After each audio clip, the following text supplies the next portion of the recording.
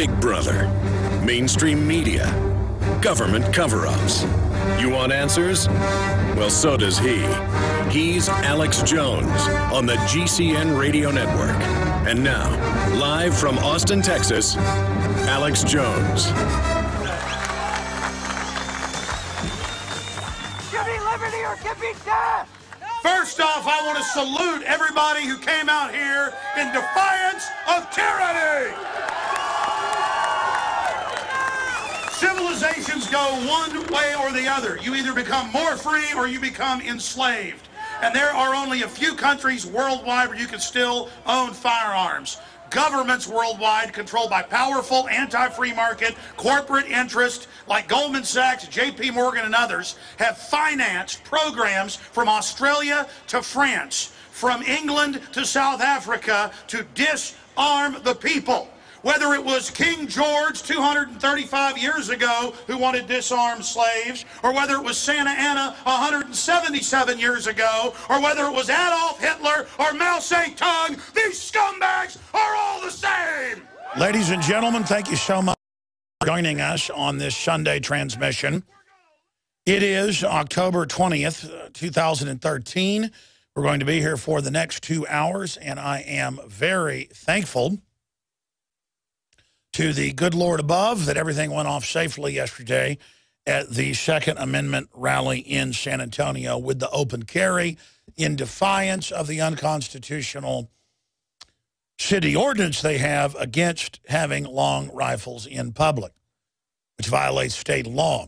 And the open carry, uh, Texas open carry and others are the cutting edge of human rights, God-given rights. They are the real modern civil rights movement. And so I do intend today and, and throughout the week to get the uh, leaders of these different groups on the syndicated radio broadcast. But today, coming back uh, in the next segment, I'm going to give the number out for folks that were there. It was at least 1,500 people there over the four hours. The police estimated a crowd of about 1,000 people at any one time. Uh, the New York Times and Associated Press estimated it at about 500, but it was well over 1,000 people. And then down the street, uh, they had the Moms uh, Demand Action or Bloomberg-funded uh, operatives demand action uh, from my research.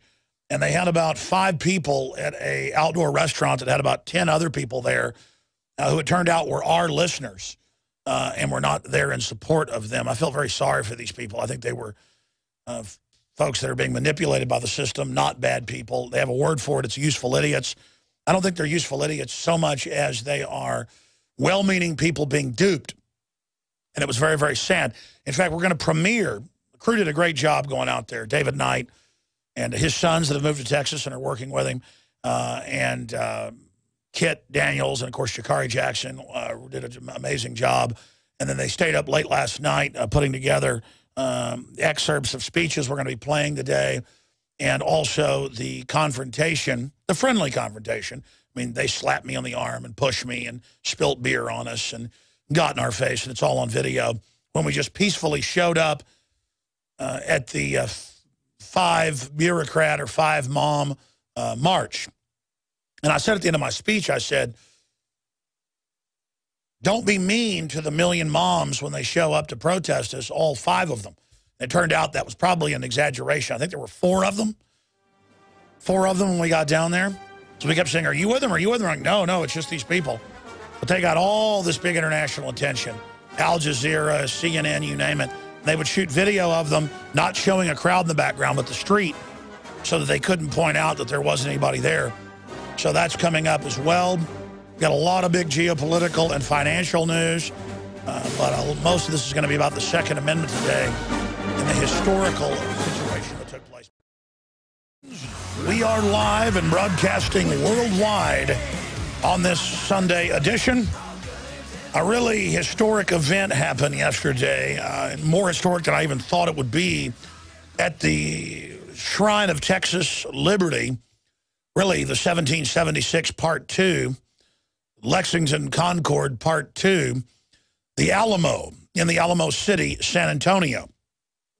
This is now national news on every major TV network out there, uh, BBC, Al Jazeera, Worldwide, people are seeing citizens, individuals, by the thousands with so-called assault rifles strapped to their backs or held in their hands or held above their heads, like Charlton Heston said, from my cold, dead hand at the Alamo. And the corporatist, globalist establishment press that thinks they've conquered this country, the anti-free market gangster media that wishes to consolidate control and extinguish we the people having any control over our society. For weeks, they demonized Texas Land Commissioner Jerry Patterson, who is the most staunch Second Amendment supporter in the state government. I mean, he really has been a treasure to this state and the country. If it wasn't for Jerry Patterson, because I was down there 20 years ago as a citizen fighting against gun control legislation, I remember before he was even a senator, he was there battling it. And then he was the senator by 1993. And if it wasn't for him, they would have already restricted the Second Amendment even more in this state. And because of uh, lack of funding and other issues, the state took over the Alamo a few years ago from the Daughters of the Republic of Texas that a lot of my family uh, are members of. And it's a good organization, but they couldn't, uh, you know, obviously raise the funds to upkeep the old building and the maintenance and the security and the bureaucracy and all the different federal zoning rules. And so Patterson has taken it over as land commissioner, and there's never been a political rally at the Alamo since 1836 when they killed those 180 plus men in there, including Tejano Texans who were standing against the dictator Santa Anna. And they would not turn their guns in. That's what started the Texas Revolution of all the abuses Santa Anna came in and he said, all you people that got land grants the last decade, A, we're going to take your property, we're going to jack up your taxes, and you can't even have your guns. First it was you can't have your guns in town. Then it was you can't have your guns off your property. And then in the space of a year, Santa Anna said, you know what? I want all your guns turned in, period. And they said, there's no way we can turn our guns in. There was the Comanche and the Apache and all, you know, huge wars going on. It was a uh, all these different factions, extremely violent, extremely historic what was going on. Uh, and so Santa Anna sent in troops and would massacre entire towns, in some cases including women, famous massacres. You can look them up where they would kill, in some cases, hundreds of people who would even give up and they would still execute everyone. So the, Santa Anna, by the way, was overthrown later in Mexico after he lost Texas and California and New Mexico and Arizona. And, of course, it had been Russian. California had been Russian, and Texas had been French and British and everything else. Uh, I mean, Mexico still claims they own the Southwest. Mexico only had it for a very short period of time. Everybody was grabbing it. Indian tribes were fighting with each other over it. But that's a historical uh, segue or, or, or, or, a really historic, uh, almost rabbit trail. So I won't go down that. The point is, this was historical. There has never, and, and I get invited to a lot of rallies around the country. And I don't go to a lot of them because digitally, I can sit here on the radio and, and, and my nightly news and uh, Infowars.com and PrisonPlanet.com. And let's not exaggerate. About a million people a day on Infowars.com, about a half million a day on PrisonPlanet.com, three million radio listeners a day on the radio. Total listening or watching the show, 15 million a week and growing exponentially. Uh, we're one of the biggest radio shows in the world now thank God and thanks to our supporters and folks, uh, you know, standing by us and our sponsors and the fact that people are hungry for liberty, we don't need to go out and speak to crowds. It's important to do it. I like to do it. It's very primitive and primal to go out and give a speech and then shake people's hands. And uh, it's energizing. I like to do it. It's just that it's more effective to digitally broadcast and transmit and stream out to the world. But this event, I said, I want to come to that. And I went, and I didn't realize that they'd never had a political rally since 1836. That was a political rally in 1836, knowing that 5,000 troops were marching on the Alamo and still staying there and not evacuating and saying victory or death. 180-something men, few women, few children, less than 200 total. I didn't realize that Patterson had been under attack in the London Guardian, in the Associated Press in the San Antonio Express News, you name it, for saying we're going to have the first rally ever. But it wasn't political. They haven't had a rally, period, there. In, in the 177 years, Patterson, because uh, I hadn't been following and I was just invited to speak, so I went. He said, look, in the last few weeks, he said, look, to the London Guardian and everybody, he said, look, they died because Santa Anna was coming to take the guns. It started at Gonzales when they fired the cannon at the troops and said, come and take it. That's where that saying comes from. And the people that died here at this burial site who didn't surrender and fought to the last man, they, Davy Crockett, William Barrett Travis, Jim Bowie, you name it, legendary. As the 300, you know, that fought off the Persians, the, the, the 100,000 Persians, or stopped them until reinforcements could get there. This is world famous. It's in the top two or three famous military events in, in the last thousand years, conservatively if you look it up in historical text. I mean, it's right up in the top four or five, conservatively. Probably in the top two or three. And they've never had a rally there of any type. Well, this wasn't political. This was about basic rights. And Patterson's right. Do you think Davy Crockett and William Barrett Travis, who fought and died so that people wouldn't have their right to keep bear arms taken, just like at Lexington and Concord in 1775, they wouldn't turn their guns in. The British regulars said, we're coming to kill you and burn down your house. Anybody doesn't turn your guns in. And they said, we're going to meet on Lexington Green. And when the redcoats, who outnumbered them nine to one, came marching up and lowered their muskets and said, we're going to fire on you, the folks at the Green there in 1775 famously said, in fact, will you guys pull up the, the uh, words, the final words before the shot heard around the world at Lexington Green, because I want to get the exact quotes. Uh, but the head uh, pastor there in charge, he said, look, we're not here to kill anybody, but we're not giving up our guns and our rights of self-defense. If they want a war, they're going to get one, but wait till they shoot at us first. Do not shoot at them. And, the, of course, the redcoats fired on them, said, lay down your guns. They didn't lay them down, and uh, the redcoats fired, and that was the shot heard around the world the, the come and take it groups that organized this, they were told you're going to be arrested when you come down there with your guns, violating city ordinance. It's self-violating state law. And they said, fine, we're still coming. And I still said, I'm still coming. That's when I was saying, oh, okay, I will definitely bring a gun now. I brought a, a 223 uh, M4 just because it was light and easy to carry, put on my back just to show people, I mean, look, cops have guns, it's okay. Why is it bad if citizens have guns? Criminals aren't going to let you know they're coming with a gun. And notice nothing bad happened, nobody got hurt, with over a 1,000 people with firearms in one place. Now, separately, there was a rare shooting in San Antonio yesterday where two reported, they've now been charged uh, or had uh, their uh, bail set at half a million dollars apiece, shot at a cop and hit his computer and splattered glass in his face. And they're going to be charged with attempted murder. Notice that was drug-related gang bangers shooting at a cop, but not us. See, there's the difference. Criminals are always going to have guns. Turns out these guys were criminals with criminal backgrounds. Oh, they had guns illegally. But see, this thousand-plus people with guns who were citizens, no problem. I get to the Alamo, and I learn that it will be the first speeches ever officially given in defense of the right to keep and bear arms since the Alamo was overrun and the few survivors massacred in 1836. And I got there because I hadn't been following the whole thing in great depth. I was covering so many other news stories.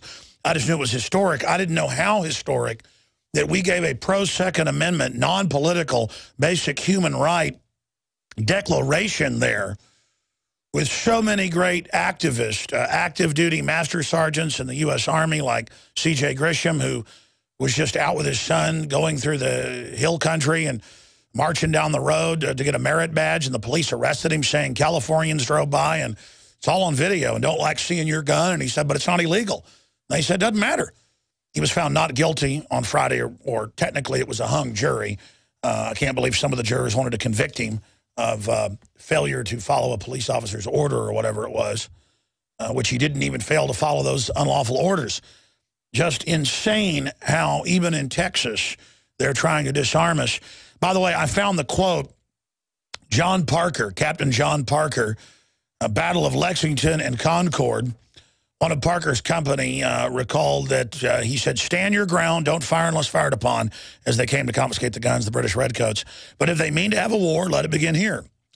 Paul Revere, uh, Paul Revere uh, recalled it as it being, let the soldiers pass by, do not molest them without they begin first. And then going on to say, stand your ground, don't fire unless fired upon. But if they mean to have a war, let it begin here.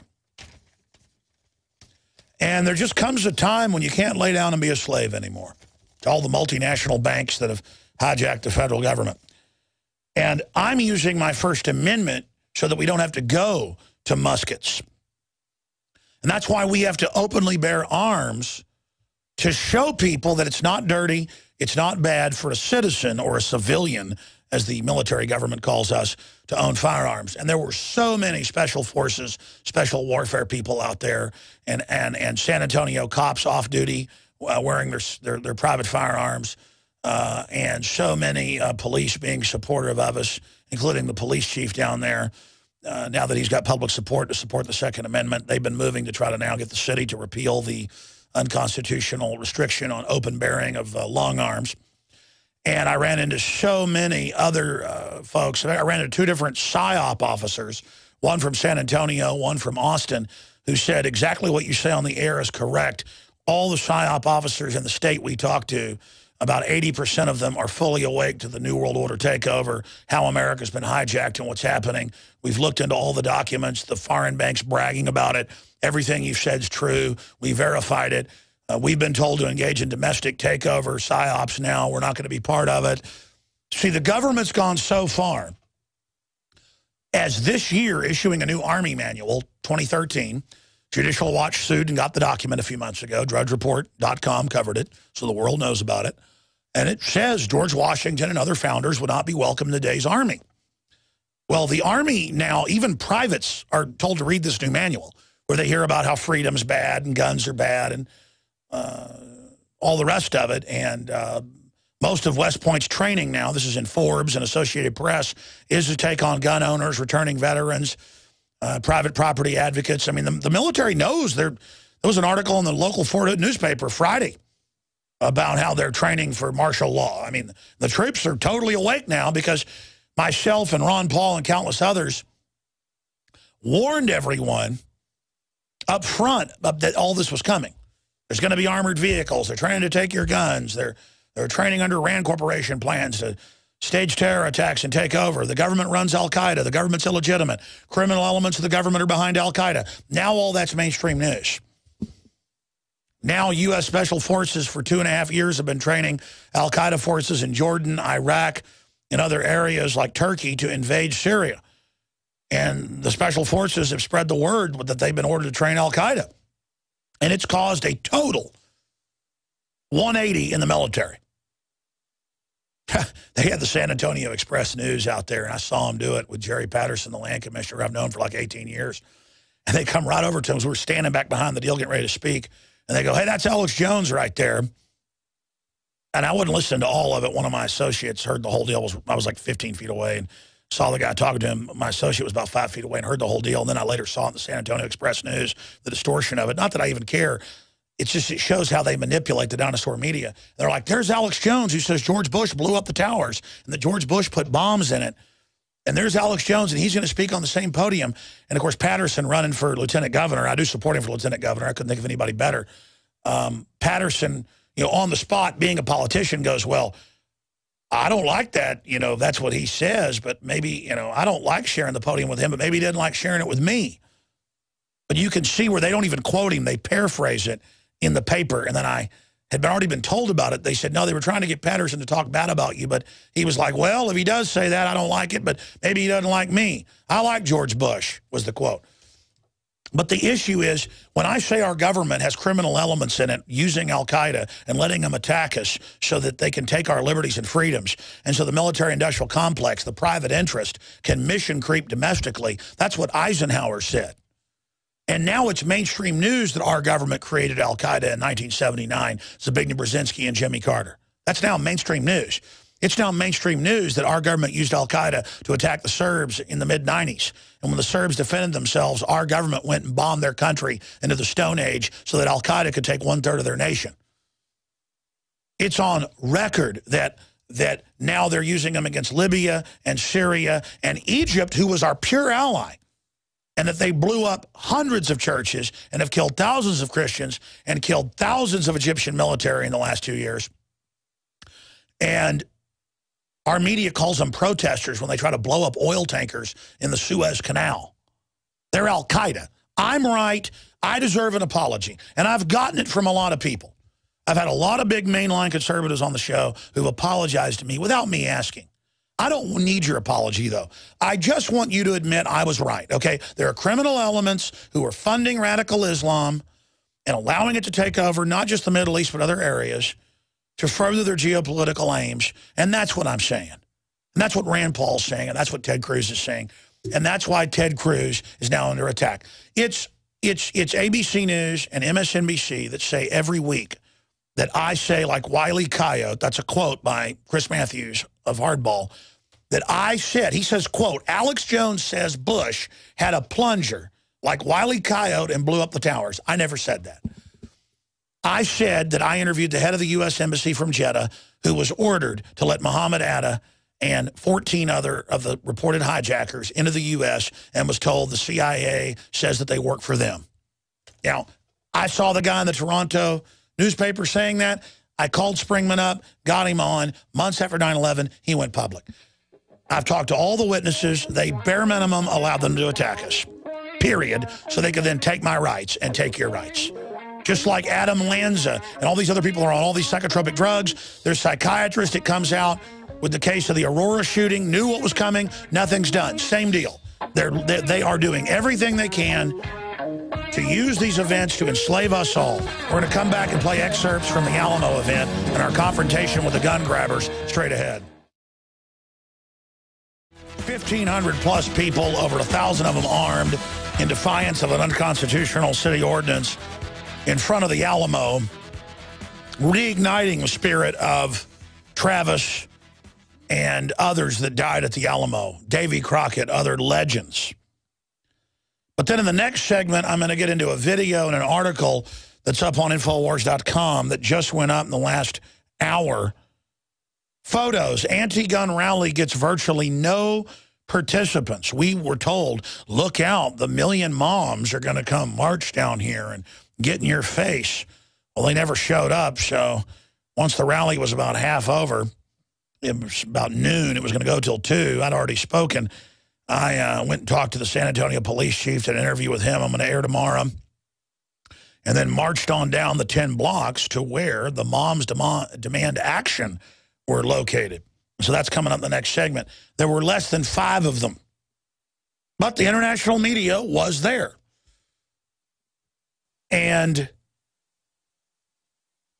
I noticed mainstream media lied about their numbers and then tried to water down our numbers. That's why the mainstream media is now the dead media, the dinosaur media. now, continuing here, imagine the first demonstration, because the Daughters of the Republic of Texas since the 40s, when they took over the Alamo, have never allowed any, quote, political demonstrations or any other speeches, period.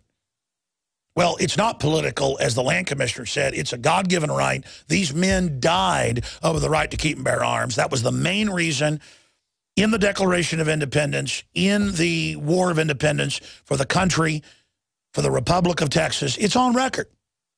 Just like in 1775, the Redcoats came to take the guns. And so I didn't realize until I got there. And the media was asking me, so you're going to be one of the first speakers ever since the Alamo in 1836 to speak here. And I went back and did some research.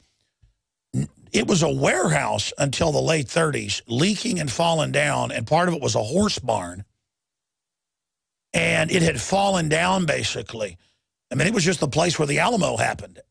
And so it didn't become big until John Wayne made the Alamo and the 50s and films in the 60s. And so there has never been a political speech, as they call it, any type of speech about liberty, about issues there until yesterday. And I'm glad that Jerry Patterson had the guts to go out there and to reverse this unconstitutional move because it's not political. It's exactly what Davy Crockett and William Barrett Travis would want, undoubtedly.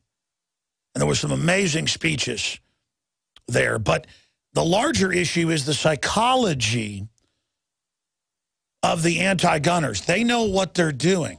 They want to make guns unacceptable. They want to make them taboo in the hands of citizens. Doesn't matter if Chicago and New York and D.C. have the highest crime rates in the U.S. Chicago, the highest crime rate for a city in the world because there's a total gun ban. It doesn't matter if Mexico has a gun ban and they have the highest crime rate for a country in the world. And Mexico City is number four, only behind three U.S. cities that have gun bans. I mean, those are the facts. It doesn't matter if there's a 49% drop in crimes using guns and overall crimes down over 60% since 1992. And most studies show that guns are the main contributing factor. Gun ownership goes up. Criminals are scared. Two weeks in Dallas after concealed carry went in decades ago, carjackings ended.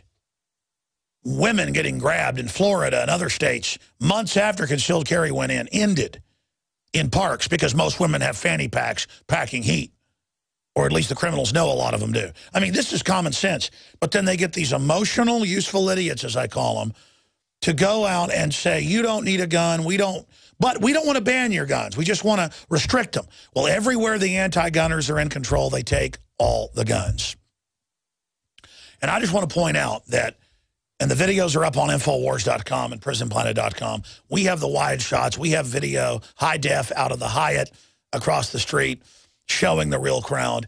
And most people that came, you know, had stuff to do, so they'd stay about an hour during the four-plus hour, it was actually about a six-hour event, but four hours at the Alamo, two hours marching through the city. It was, it, the police estimated a 1,000.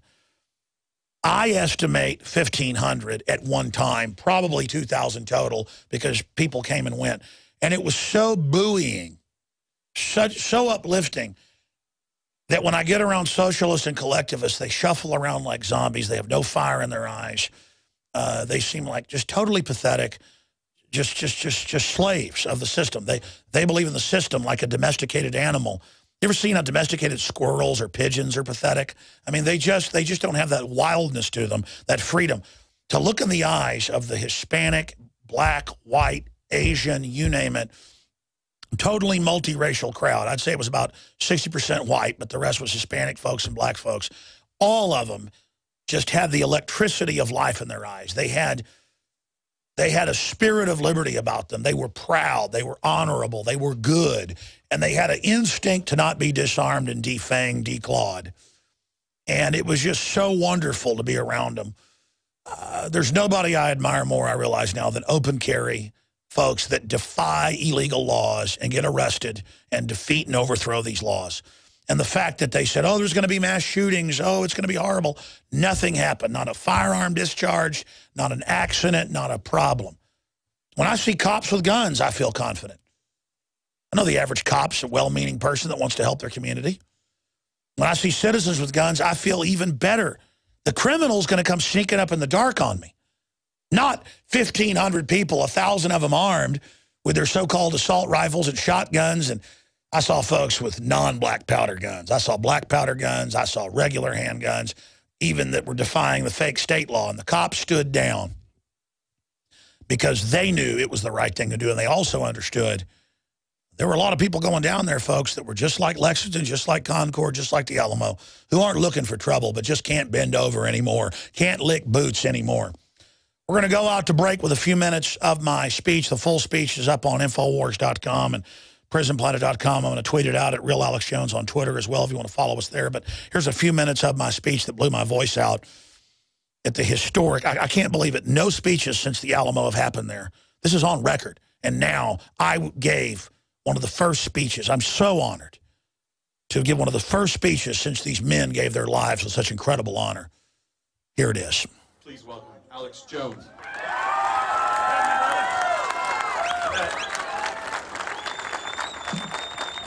Give me liberty or give me death! First off, I want to salute everybody who came out here in defiance of tyranny. Guns go one way or the other. You either become more free or you become enslaved. And there are only a few countries worldwide where you can still own firearms. Governments worldwide controlled by powerful anti-free market corporate interests like Goldman Sachs, JP Morgan and others have financed programs from Australia to France, from England to South Africa to disarm the people whether it was King George 235 years ago who wanted disarmed slaves, or whether it was Santa Anna 177 years ago, or whether it was Adolf Hitler or Mao Zedong, these scumbags are all the same. They are bullies that think we're going to lay down to them and lick their boots. I can assure you that if William Barrett Travis was here, or the others that died in this sacred shrine were here, they would give us a rebel yell of liberty! I can assure you they knew full well they were going to die, but they were so angry watching people tied up and shot in the back of the head all over Texas because they wouldn't turn their guns in that they came down here to show an example of what you do in the face of tyrants. And that's what you're doing here right now, today. And I'll tell you, I'm no different than my ancestors. You're no different than your ancestors.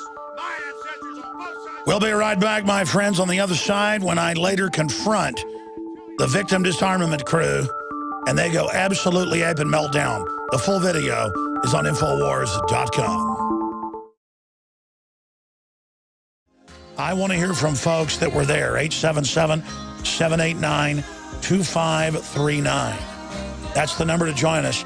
And I'm not bragging, but of the 1,500 to 2,000 people that were there over the four hours plus, about half of them are wearing Infowars.com t-shirts. We have video of that. And most of them were listeners. I'd say about 90%, which is exciting. Um, but And then I left and marched down the 10 blocks to go confront the gun grabbers, and every other person we walked by literally was a listener. It just blew me away. Uh, you can go to uh, Infowars.com and see live feeds we put up. We were out there live streaming and see just what I'm talking about. But photos, anti-gun rally gets virtually no participants. It was a uh, anti-gun rally against our demonstration is the big issue. They came out to protest our pro-gun rally. So protest against pro-gun rally gets four people. That's probably the real headline. But uh, and the video is up there. And we went and found it. It was this open-air taco shop restaurant, and there were about 10 people there out by the gate. And we said, are, are you anti-gunners? They said, no, we found out where it was and figured you'd be coming here. We're listeners. And then I found four people, two men and two women, who were with Moms Demand Action, one of these Bloomberg uh, gun grabber groups. By the way, they're recalling all the people in Colorado that voted to ban guns right now. They've already recalled a bunch of them. Now, when a recall starts, the state reps are just resigning because they've learned. I mean, you're all gone. And we show up, and they're totally polite. And this woman comes up and rams me in the arm.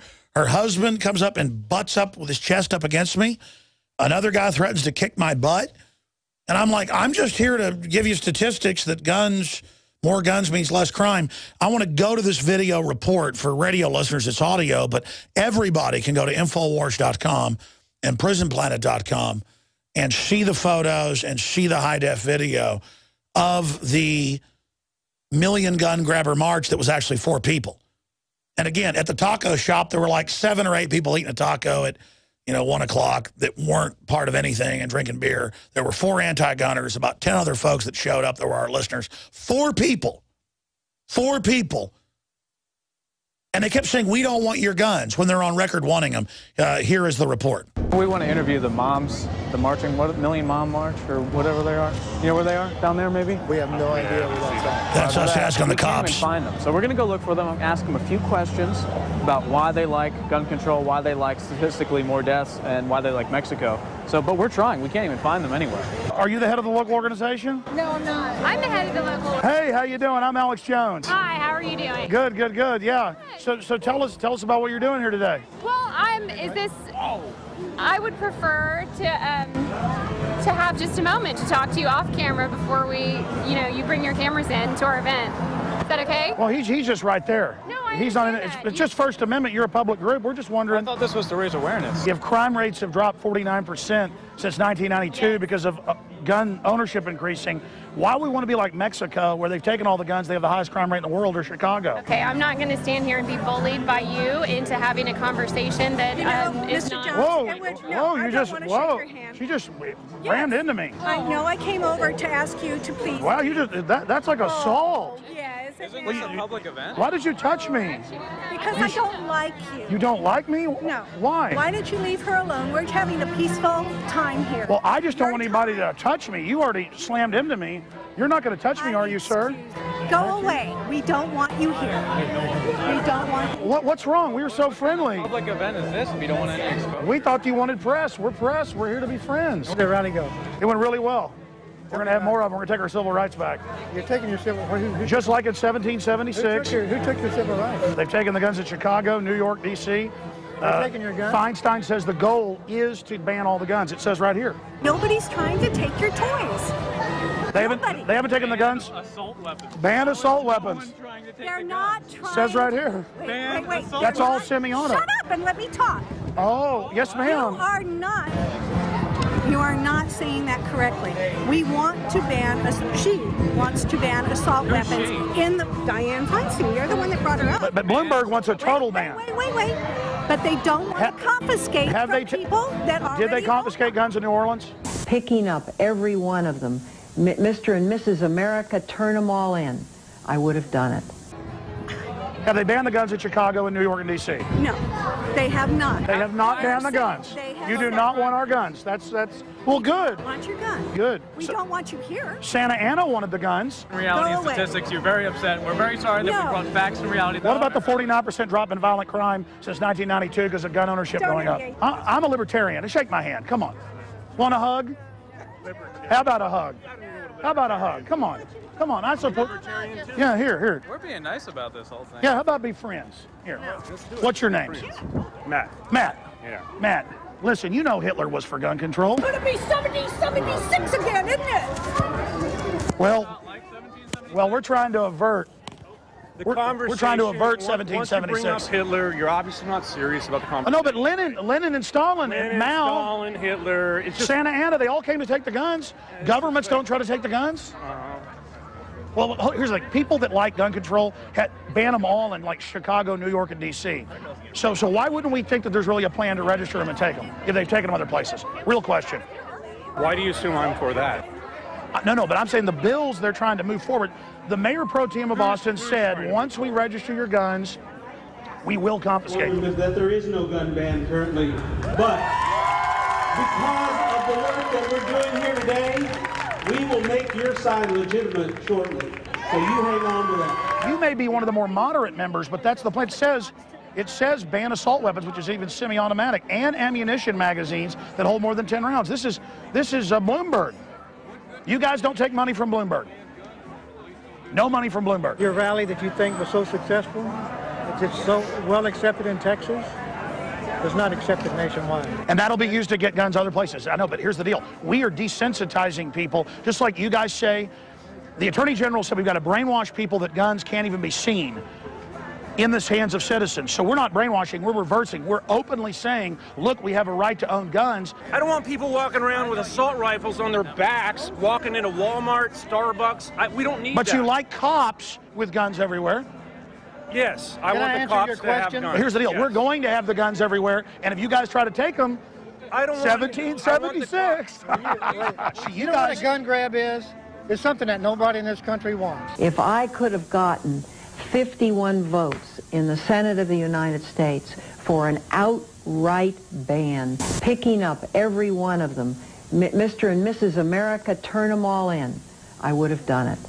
A gun grab is something that nobody in this country Well, sir, wants. all I can say is you are really getting in my space, like your wife come over and push up against Why me. why don't you back up? No, I'm not going to back up. You're the one got in my space. You know Look at this. Look at this guy. Stop. All right, go ahead. You, you listen. I don't want to beat an old guy up. So don't touch me, all right? This guy could You're take just- you out in a heartbeat. I bet he could. I'm not violent. Why do you think it's okay to sell a gun to someone that you don't know that's not been through a background check? Should we have a Should we have a background check for bathtubs every time we take a bath? We should have a background check on. for guns. Should we have a background check for knives? You don't believe in a background check? No. Have you heard about We all know it's a dealer? registration. We have your documents. Have you read the bill 1565 that says it's against the law to keep a registration and it's a $15,000 But they've fine caught them keeping it. sell a gun? They've caught them keeping it. What do you think about Excuse knives? myself. I mean, there's Ronnie, a knife assault. You're giving them what they want.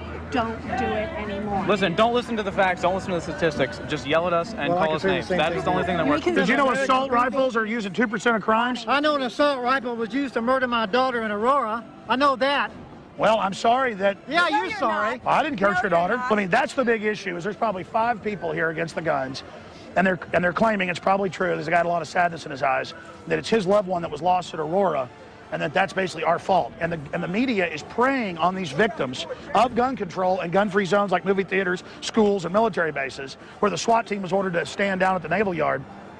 They are preying on us, and they're preying on people that have had loved ones that are lost in our pain to then blame others that have the right to self-defense when overall in the aggregate guns are saving more lives than they're losing by 40 plus percent to That's one. right. Government killed 262 million people, 20th century, major university studies. Look up democide. That's non-military deaths. Government's the threat. This is a short little segment. Your calls are coming up in the next segment. But I want to address the older gentleman and his wife, the woman that slapped me on the arm or grabbed my arm. Kind of a pushing, grab, slap, whatever you want to call it. And then he kind of slapped at her, and then they were, he butted up against me.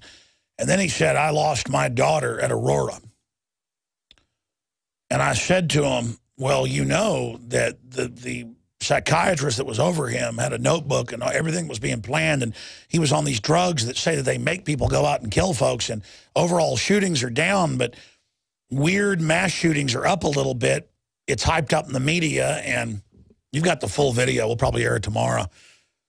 And they wouldn't even listen to it. And I said, listen, I said, it says on the insert it can make you commit mass murder. It can make you go out and do all these horrible things. It can make you have megalomania, become psychopathic. They got 20% of the population on these. They've got U.S. military doing weird massacres when they're on it. Nobody's ever acted like this. These psychotropics, they didn't want to hear it. And then some other guy, we've got like 30 minutes of this footage, threatened to attack me and everything. I'm not the enemies of these people. Let's put the article up on screen for TV viewers. There's a San Antonio Express News article. Mom's rally focuses on gun safety, common sense. If you scroll down, it's got her, got her name right there. Sandy Phillips, and then her husband had a different name. I don't know if it's a, re, a remarried, uh, but uh, Lonnie and, and uh, Sandy Phillips. But the point is, and, and there's the police chief meeting with them, and their and their two or three supporters. Think of how sick this is, though. They've lost their daughter because in a gun-free zone, a movie theater, in an anti-gun area of Colorado, somebody on multiple psychotropics who in his own notebook was telling his psychiatrist reportedly, who was a top Air Force psychiatrist for some reason, that he was going to go kill people, and then nothing stopped him. And then it was reported in the news, he told people in the jail in Aurora, I'm under mind control, I'm in a government program. I mean, it turned out that Theodore Kaczynski, the Unabomber, was. That's L.A. Times. So we're just saying this is very suspicious. They got really upset at that. But what I do know is this. When a bad cop rapes a woman or a bad cop shoots somebody because they're on a power trip and crazy, do you blame every cop? You shouldn't. When somebody takes a car, they've had this happen, well, every few weeks you see it, and drives through some crowd of people. If it's a Mercedes or a Ford or a Chevy or a Toyota or a Nissan or a Doc, Datsun, do you blame Chevrolet? Do you blame GMC? Do you blame Saab? Do you blame Volkswagen? No, you blame the person that did it. When somebody goes into, they don't have guns in Japan, so they're always having mass school stabbings. They had like 14 killed once with a guy with a knife.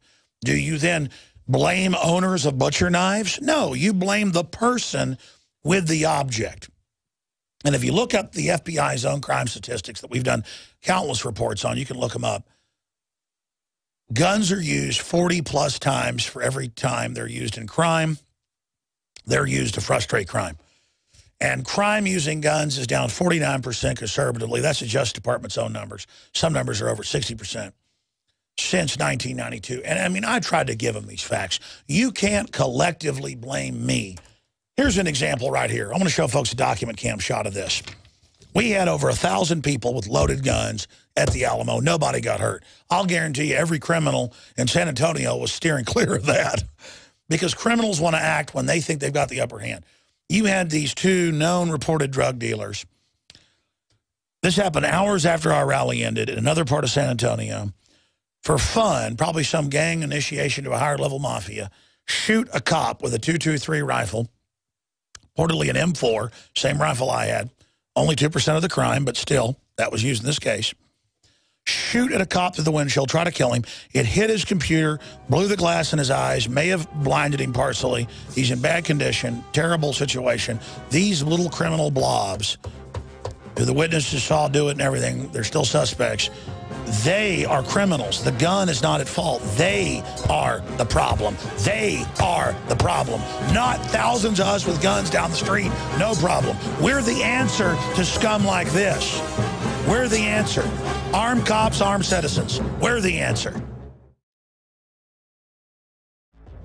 877-789-2539 is the number for folks that were at the historic Alamo rally. I don't know if people realize how historic it was if you just joined us. There has never been a rally since the Alamo in 1836 at that site because it was a warehouse till the 40s. Nobody cared about it until John Wayne made a movie in the 50s or was it in the early 60s about it. And then the Daughters Republic of Texas wouldn't allow anything political. Well, political isn't just politics as you see it, Republican, Democrat. What about our liberties, our freedoms? That transcends political. It's, it's about being a free human. That's why America was different, because we at least had some basic rights. We weren't perfect, but we were light years ahead of other nations. We're trying to reclaim that and to be out there and just look in the eyes of how Americana everybody was. I mean, the Hispanic folks, the white folks, the black folks, the, the everybody out there just looked like something out of a spaghetti western or something. I mean, they were just, the men were so manly, the women were so beautiful, the people were so smart, the folks were so informed, the eyes had the soul, had the electricity in them. It was so great to be out there with you. I, I, I am just drunk on liberty right now. I've got to tell you right now, it was so exciting. I want to go to phone calls from folks that were there. And then I see some people still called in and got on the board that weren't there. I'll go to you too. But I want to put people to the front of the line who were there at this historic open carry march in San Antonio, Texas yesterday.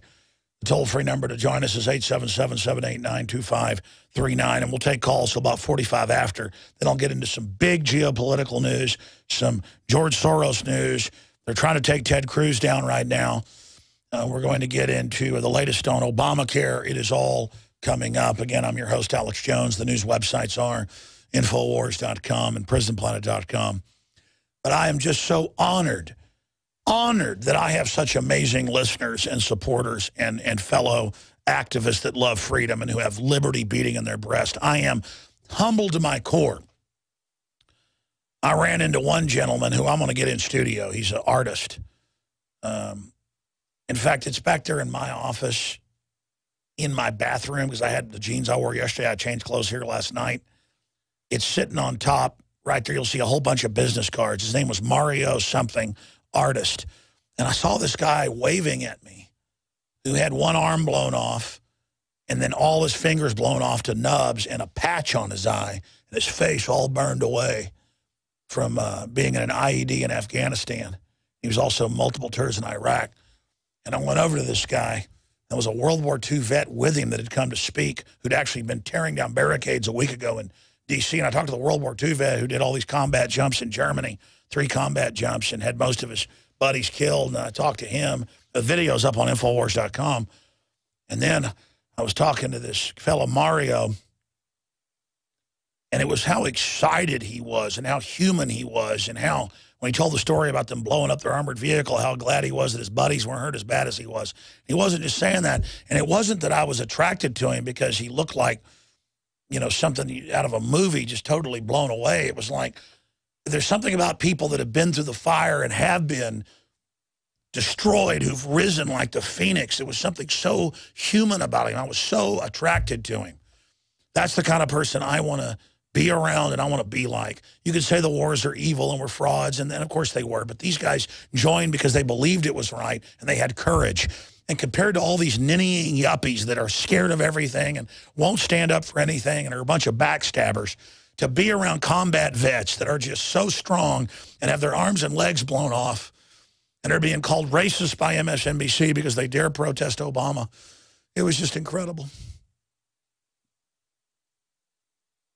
I meant to, I'm going to get that guy on. I got a whole stack of business cards in there, and he was one of them. And I want to see his art too, because he's an artist now. That's how he, that's how he pays for everything with his, his arm blown off to the shoulder, whole body burned, one eye out. Just and, and it was, but his humanity. There's something about somebody who's been blown away, and all the looks are gone, but the soul shines through. It's almost like beauty gets in the way of the soul, and it was just right there. I could, I could, I could see his soul and that was so much for me. Let's go ahead and uh, go to your phone calls. Let's talk to uh, somebody who was at the Alamo. Diane in Texas, you were at the Alamo. Historic, 177 years later, the ghost of the ghost of William Barrett Travis spoke again. No one has spoken for the right of self-defense since then on that side. And now the, the curse of telling people not to stand up has been broken. Diane, what did you think about being there? It actually gave me a glimmer of hope for our country to see mothers and fathers and their children, little kids, teenagers, black people, white people, brown people. I mean, the diversity was remarkable. This was and, humanity, but we all had the same spirit. Yes, and and I I try to go to rallies for things I believe in, and they tend to be predominantly white. And I'm like, where are our brothers. Well, that's because MSNBC color. says if anything is for freedom, it's racist and it scares people away. We've uh, my mission, I realize now, is to break that. We've got to bring everybody in for freedom. Go ahead. Well, my husband and I went. Um, we don't have long guns, but we wanted to support the movement and be a part of history. And it was so exciting and amazing. We were there from the very beginning speech until shortly after yours, and then we had to go. We couldn't stay for the duration, but I wish we could have. And yeah, that's why I think there was 2,000 or more because the police estimated a 1,000, but most folks are hardworking or they got family to do. You know, I would see different crowds over there. It was a big, might have been 5,000 there. I mean, it was a 1,000 at any one time over six hours. There, there was a guy with his beaded yarmulke and his dress suit and his sign that said, gun control isn't kosher. I mean, there there were no boundaries. Of, well, people instinctively get that if they're disarmed, they're enslaved. And they've taken the guns everywhere. Yeah, so thank you for your work, and it was it was a real honor to have been a part of history. Oh, it was an honor to be there with you, Diane. Did I get a chance to meet you? No, you didn't, but I saw Jakari and I saw you, and y'all are awesome. No, you're awesome. And and, and uh, the keynote speaker whose name is escaping me right now, Jerry Patterson. Oh my gosh, we all need to get him in into a new. No, office. no, Jerry Patterson. Eh, let me tell you, he is tireless fighter for the Second Amendment. I mean, he's the real deal. That's why the San Antonio Express News spent like two different reporters trying to get him to talk bad about me because they want to divide us. That I mean, I mean, that's all they want to do. But there I was with an M4 strapped on my back in defiance of that unconstitutional law down there. This is what it's all about. God bless you, ma'am. Mahatma Gandhi, if you look it up, in fact, print up the actual history for me because I don't want to get it wrong. He marched like 500 miles through India. You would be given years in prison if you mined salt or got it from the ocean and sold it. You got to have salt to cook, everything. And he marched famously, the guy that freed India from British imperial rule, to the sea. And by the end of it, hundreds of thousands joined him and gathered their own salt at the sea. And that was the beginning of the end of the British Empire in India. And it's the same thing. They say, you can't have your guns in San Antonio? Yes, we can. Come and take it. And the police did the right thing. And I can tell the police admired us. Five-tour vet of Iraq and Afghanistan who had his arm blown off his whole body burned and lost an eye is Mario Lopez. And I was just remembering him here on the show, and there's an interview we uploaded or shot live out there, streamed, that's up on Infowars.com. But his, his website is paintingsbymariolopez.com. And I almost don't want to give his site out because I want to buy a bunch of these for the office. This guy is an incredible artist. I mean, world-class stuff. And he's a big listener. And again, I looked across the whole crowd and saw this one guy waving at me with his hand that had all the fingers blown off. And I saw his totally burned, destroyed face, but saw that human beauty in it. And he was more beautiful than the entire crowd of people out there. I don't know how to describe it. Just amazing. I don't mean to sit there and go on and on. I've been to a lot of veterans memorials and events and seen people that are burned and destroyed, but uh, he's not destroyed. He's a person of honor, and he's a great artist. I love his card. In fact, find that picture that's in there of the trees with the blue and the orange in the background. That's what he's got on this card. We're going to get him in studio very, very soon. I'm going to go back to your phone calls. It's just that uh, if you want to go there and check out his paintings, it's uh, paintings by MarioLopez.com. Wow, look at that. That's the one I want. In fact, I want to call him before everybody gets it. That's the painting I want for our office right there. I mean, that is like Van Gogh level right there. Uh, let's go ahead and uh, take a phone call from folks that were at the historic Alamo Second Amendment rally. Let's talk to Bob in Texas. You're on the air, Bob. Go ahead. Hey, Alex, man, I want to tell you, my wife and myself, we were there. And I felt very honored to be there. Both of us did. We met so many great people, liberty minded people, and it was just, it was incredible. It's an incredible experience. Well, we are the seeds if this republic's going to survive. And, yeah, you know, it's like it's people that love God, love life, and love liberty. You know, I didn't I didn't open carry for personal reasons, but you, you know, this is a weird thing. I I took a slingshot. I went to Wally World and I bought a slingshot wrist rocket. You know, because I figured they tr- might try to outlaw them one day. Oh, they will. And and I so I I, I put a, a scripture on here, First Samuel seventeen fourteen. I mean seventeen forty five is, but I come to thee in the name of the Lord. And let me tell you, I got a lot of response. I even showed it to the Chief McManus. And uh, anyway, uh, guess what? I had kinfolk that died there. His name is William William Wells, and I stood in front of that uh, monument, and there was a fellow patriot who said, "Hey, you want your picture taken there?" I said, "Yeah, sure," because I said, "Man, I had kinfolk that died here," and I put my hand, I, I rubbed my hand on his on his name. You know, he's William Wells from Georgia, and uh, he said, "Yeah." He said, "Hey, I've got a gun." He said, "You you want?" He said, "It's a 22 squirrel shooter, single shot." He said, "But you want to pose by it?" I said, "Well, sure." And he gave it to me, and I I had two flags. I had the Liberty or Death, Don't Tread on Me, and the Spirit of '76, and uh, I was wearing my dad's uh, Strategic Air Command cap in honor of him.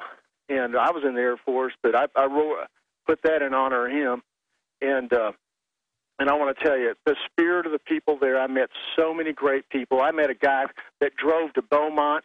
He heard that you're that you were going to be there, and he drove. Him and his wife uh, was on another trip, and then they drove all the way back to San Antonio to be there. And I met them in the at the Menger Hotel, and I want to tell you, I met so many liberty lovers. This was outstanding, absolutely, and I'm I'm on a high from it. I blew my voice out, and I kind of got frog in my throat, you know, for yelling and everything, and and waving my flag, and and I just want to say, and I was handing out the Citizens Rule Book. I want to thank you for keeping your prices down on the flags you know, because you're not making anything. I've shared flags with people out there. Sure, we sell flags and citizen rule books at cost at InfoWarsStore.com because it's all about getting the word out. God bless you, brother.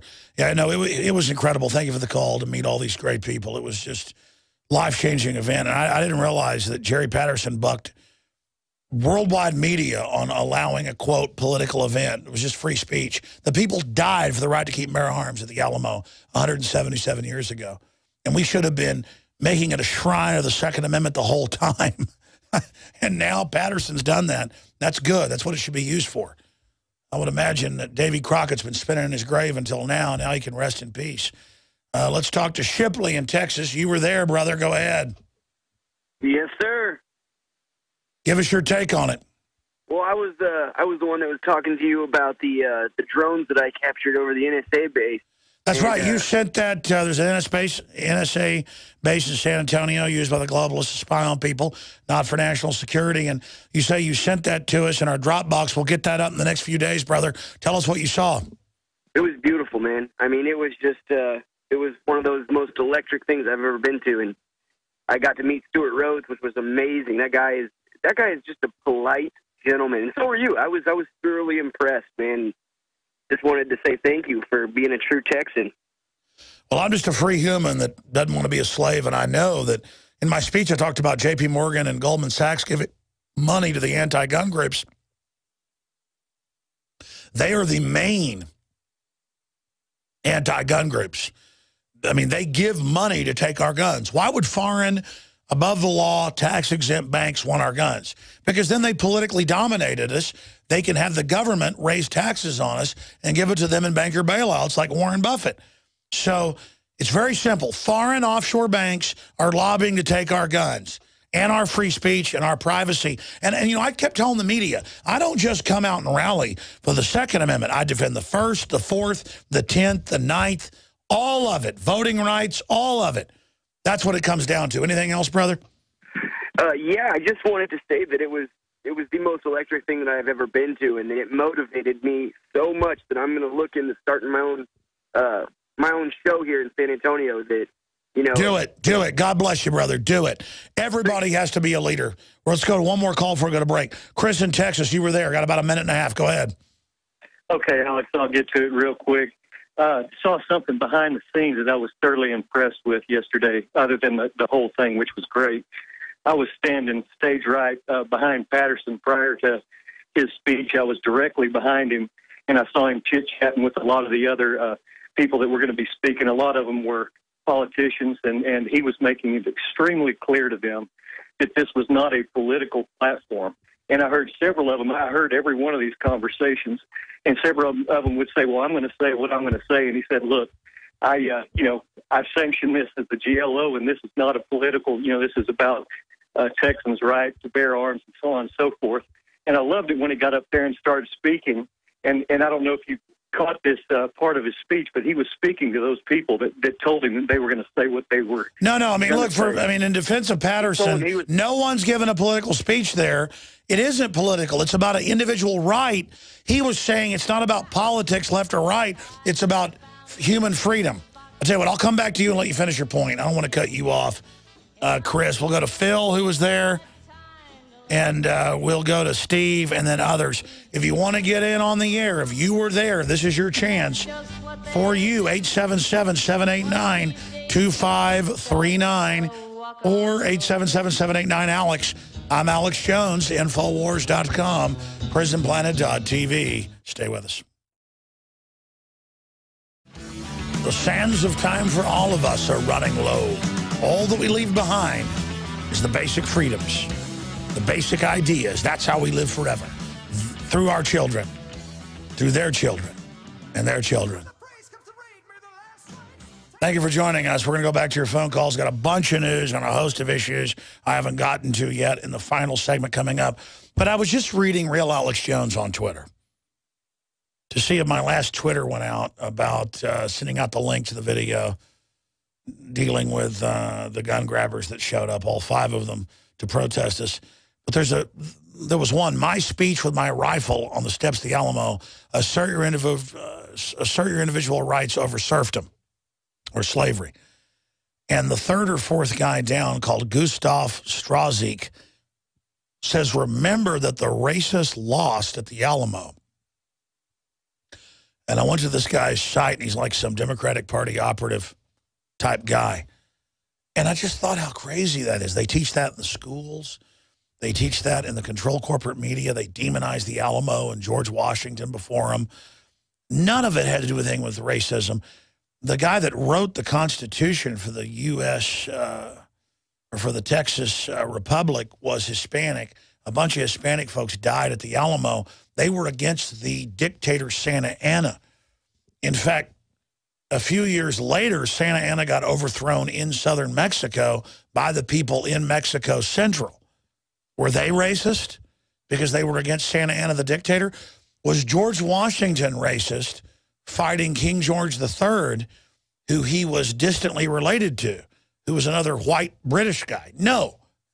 it's just they inject this because the last thing they want is white, black, Hispanic, old, young, north, south, east, west, Catholic, Protestant, agnostic, Buddhist, Jewish, Muslim, coming together around a basic Bill of Rights and Constitution, coming together around basic human rights, coming together around the family and private property and due process. And I mean, I want that for everybody. I want everybody to be treated like a human being. But the authoritarians of our age inject racial and religious and cultural division because they don't want us to discover the culture of liberty. The corrupt establishment is threatened by it. We've got to come together. But I saw this on YouTube videos and on my Twitter the last few days. The racist Alamo, the racist lost, the white Travis lost. You're going to get it. All of this racial hatred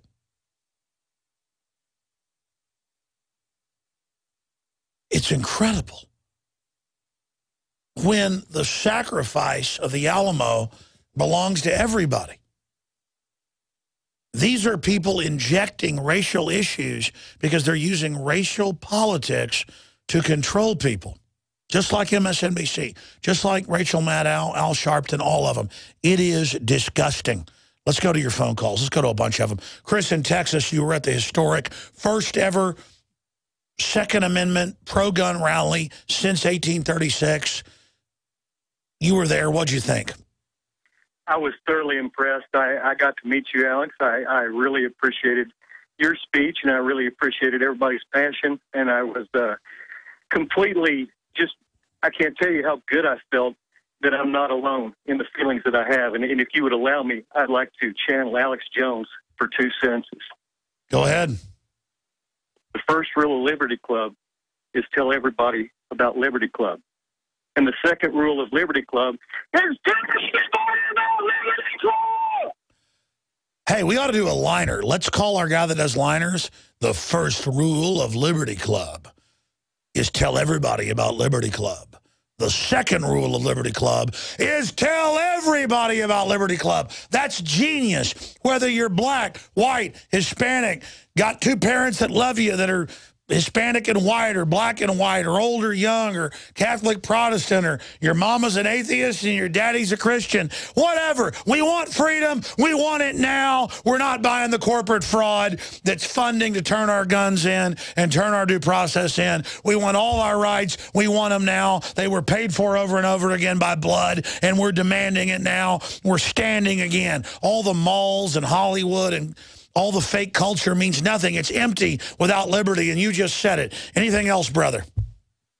That's it, Alex, and thanks for all you do. Thank you, Chris. Don't thank me, brother. It was great to be with you down there. It's so amazing. I just feel humbled by this. Phil in Texas, you were there. Tell us what you thought. It, it was good, and I think, yeah, thanks for taking my call, by the way. And I, I think that was the best schooling that you and uh, Jay Stang and Mr. Patterson and the rest could have done for the for the locals in San Antonio that could ever been done. I've been an auto body man uh, working in San Antonio for 25 years, and knowing the people, a lot of the men, many of them were what I would call as a kid uh, city slickers. Not to be mean to them, but they've never hunted for for meat, not just a kill. And when when I've ever talked to them about gun rights, it's like you're speaking to somebody that's talking about uh, outer space or something. So I think that rally yesterday, and I was there till twelve thirty, from ten till twelve thirty, um, and I think it was real good. And the only thing I could think that, that should have been maybe mentioned was the, the the possibility of UNESCO taking control of our Alamo. Uh, That's right. They are trying year. to uh, make it a UN cultural site, which will yeah. put it under UN regulations. Good point. I'm sure Jerry Patterson will stand against that. God bless you, brother. I want to go to another caller before we go to break and come back and cover news and take a few final calls on this Sunday edition. We'll be back tomorrow, Lord willing, 11 a.m. Central with the weekday um, broadcast, 11 a.m. to 2 p.m. Central, show times and free podcast and video and audio feeds are at Infowars.com forward slash show and PrisonPlanet.com as well. But look, just 20 years ago, people had rifles in their rifle racks in their pickups and the cops wouldn't harass you. Just 20, 30 years ago, people could walk down a rural road with a gun and not be messed with. Uh, just 40-something uh, years ago, my father in high school, I guess about 45 years ago, could take his shotgun to school and put it in his locker to go hunting with his coaches for dove and quail after school. They have demonized our right, made it dirty, made it bad, made law-abiding citizens with weapons responsible for what criminals do illegally. It's all fraud. Throw off the guilt. Stop buying into it. We're done. We're not going along with it anymore. Now, I've got a bunch of news economically, Obamacare, Ted Cruz. They're trying to sink him right now. We got to stand with Ted Cruz, a great patriot, in my view, when we come back. But we will talk to Steve and Scott and John and Elizabeth and another John. We'll give each caller about one minute. I'll try to shut up, not comment, when we come back. My voice is blown out. Thanks for putting up with me today. I kind of got a little excited there at the rally. We're going to come back and go to these four or five callers that are lined up and then hit the final news in the final segment of this transmission. But again, history's happening. History didn't just happen in the time of George Washington or Colonel Travis. It's happening now. Be part of it. Nobody rides for free. They gave their lives so you'd have basic liberty and freedom. Will you speak out? Will you stand up? Will you get involved? Will you do one one-hundredth of what others have done for you? That's the question. Here's an article by Kit Daniels that just went up on Infowars.com. Despite media fear-mongering, no injuries at open carry gun rally at the Alamo. Rally turns the Alamo into the safest place in America. That article is now up on Infowars.com and PrisonPlanet.com. And I'm not trying to talk like Clint Eastwood. This is what my voice sounds like now. Alex Jones rallies at the Alamo with gun owners for open carry. I never tried to be like this liberty leader and all this stuff. I didn't want to have like the voice of Clint Eastwood. He's trying to sound cool. I realize what I sound like while I'm talking. It sounds crazy. It's like a fireside chat. We're battling for the Republic against the worldwide banker takeover. And this is how I actually sound. It's crazy. I can't believe it. All right, let's go to your phone calls. I got some final news to hit here. Steve and Tejas, you're on the air. Go ahead. Hey, amigo. Hey, buddy. Talk to you again.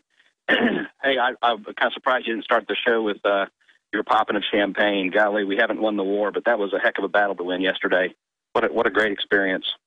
I wanted to give a quick shout out to uh, Bob, one of your earlier callers. I actually met him. He was the one that referenced the slingshot, and I met him in person yesterday and got a chance to visit with him. And what a great American! And it was just electric. It was awesome. Uh, a couple of things I wanted to hit real quick is number one, Jerry Patterson, man, he's for real. That guy's awesome. He's a member of my church.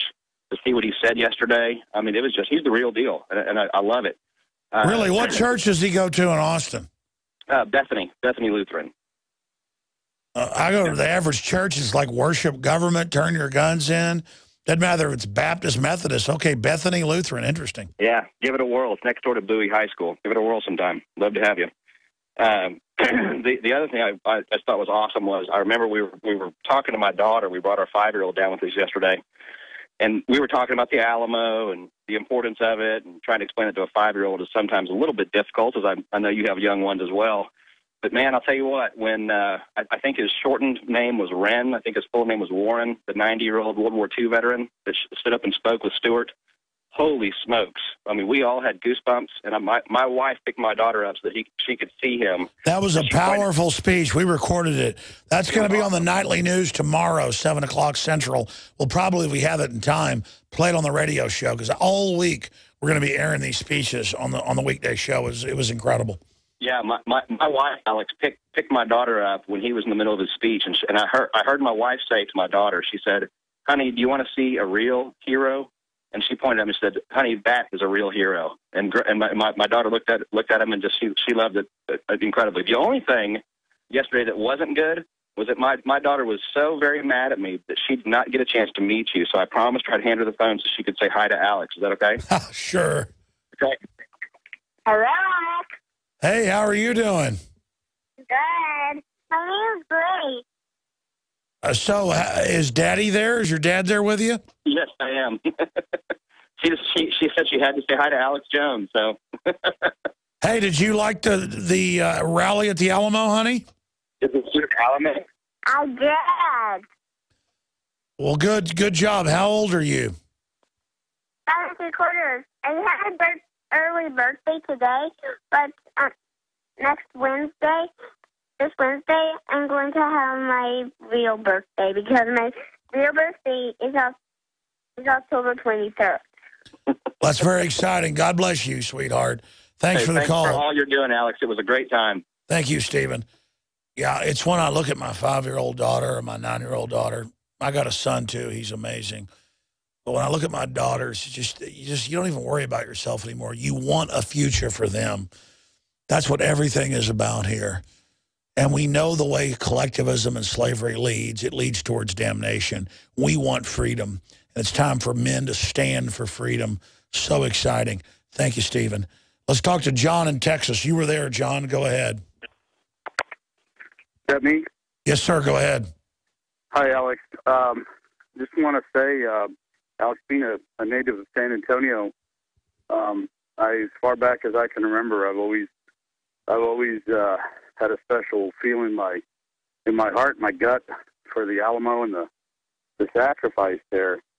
And um, I got to tell you, the, the people I met there yesterday were amazing. Um, met a couple that came from Houston just for this event. Met another man that came over from New Orleans um, by himself just to come visit and be here for the event. Um, and I just thought it was, I just, you know, it was really a, it was a come and take it rally, and nobody came to take it. We um, That's right. We stood up, so they backed down. The, the, the enemy creeps in when we're alone and when we're not ready. When we stand as men, they run. And that's what it's all about. And the defenders of the Alamo wrote letters. They knew what they were doing, but they were so tired of the tyranny of oppression, just like against King George, that they were ready to put it all on the line. And that's why it's so historic. And um, Alex, uh, I was there also for the march to the uh, to Travis Park, uh, where we violated some more city ordinances, and uh, again we're unmolested. And I'm very You uh, were just proud- like civil rights activists eating at those lunch counters, brother. You bet. Um, very proud of our police force for telling uh, the uh, police chief to get stuffed, and um, Yeah, for those that don't know, the police force refused. He was saying arrest everybody in the police force, and the union said it's a state law, you're violating it. But McManus is coming along. God bless you, brother. I mean, McManus isn't our enemy. We just we just want to like get these people to join the republic, join the free country. We don't want to fight with them. We want them to join us. It's real simple. We want their interest. We want them to be free. We want them to be successful. We're not their enemy. We don't want to fight, but we can't bow down. We can't give in. And we're committed. And when you're committed, you win. Even if they kill you, others rise up later to defend you. That's the big secret they're so afraid of. They're afraid of men. That's why there's a war on men. I'm nothing special, but on my tombstone, they could say he was a man. Like my ancestors, I am not a slave. I will not give in to you. I will never back down. You may defeat me, but you'll never defeat my spirit. That is the secret of liberty. John in Texas, you're on the air. Go ahead. Alex. Yes, sir. It was amazing uh, to be there yesterday. And on a serious note, um, just seeing all those proud patriots there, uh, globalists don't have a shot. I mean, it's over for them. They just don't know it yet. It's over if we seize victory in our hands. I agree. It's just we have to get people to realize that it's over. I mean, when you see beautiful women carrying AKs, I mean, you just know, you know, they really don't have a shot. There were a lot of here. beautiful women out there, but I'm a married man. but yes, A lot of beautiful Oh, women too. with like with like semi-automatic rifles. It was awesome. Uh, they were like Valkyries or something. I, I was in heaven. And I was just there with the shotgun, um, just trying to stand up, you know, in the city I've lived in for 20 years. Um, it's funny to see you made it to probably the only trendy place in San Antonio, down uh, South Alamo at that that place, that bar, wherever, where they were having that mom's. Down at the Commie Bar. Absolutely. We're out of time, brother. I'm sorry to Scott and John and Elizabeth. We're out of time. Tomorrow, 11 a.m. Central, 12 noon Eastern, Infowars.com, audio stream, stations, XM 244. It's all there. Sebelius is on the run. Health and Human Services Secretary will not testify to Congress why no one can sign up. I mean, that is a scandal. Tech surge plan to fix Obamacare exchanges. And the Easter Bunny's real. White House pimps another Obamacare success story that wasn't successful. No one has signed up. Report 476,000 apply for Obamacare. None can sign up. Ron Paul says the longer QE lasts, that's money printing, the worse it will get. Zero hedge. Assassination pushes Libya towards civil war. Two years after Gaddafi's death, after the U.S. put al-Qaeda in charge. Not the U.S., the banksters. And then getting into other news right here, Ted Cruz, folks, is a real patriot of honor. He's getting death threats. They're picking some $6,000 investment he made in his college buddy's firm 20 years ago and claiming he didn't declare it. They're nitpicking all his files, saying he's a fraud. He's a successful lawyer on his own right. We got to stand behind Ted Cruz. They're coming after him. We'll be back tomorrow.